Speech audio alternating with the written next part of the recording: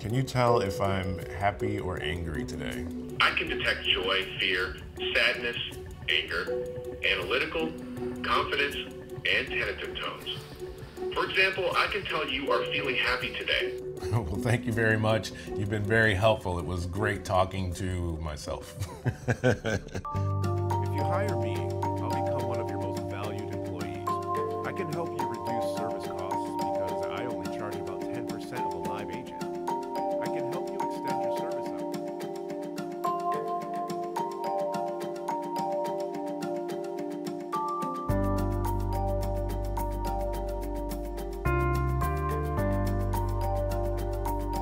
The process of synthesizing a voice is really synthesizing the sounds that are in the audio files and in the data.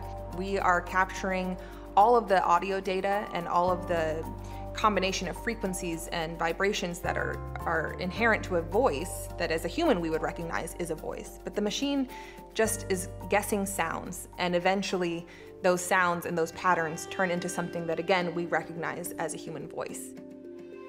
Are there any questions you can't handle? I can't give you an answer about the meaning of life, but I can answer all kinds of questions.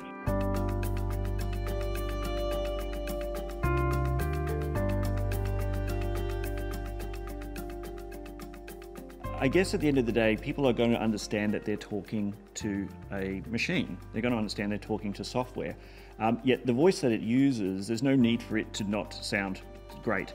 Now, the more lifelike that it can sound, uh, at least in our experience, the better the reception of the, the customers that are going to be talking to it.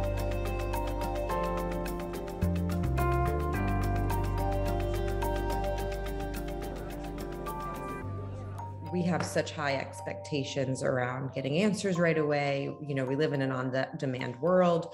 We don't want to we don't want to be waiting 30 40 minutes on hold. We don't right? If we think of all of those expectations like technology is is the way to solve for that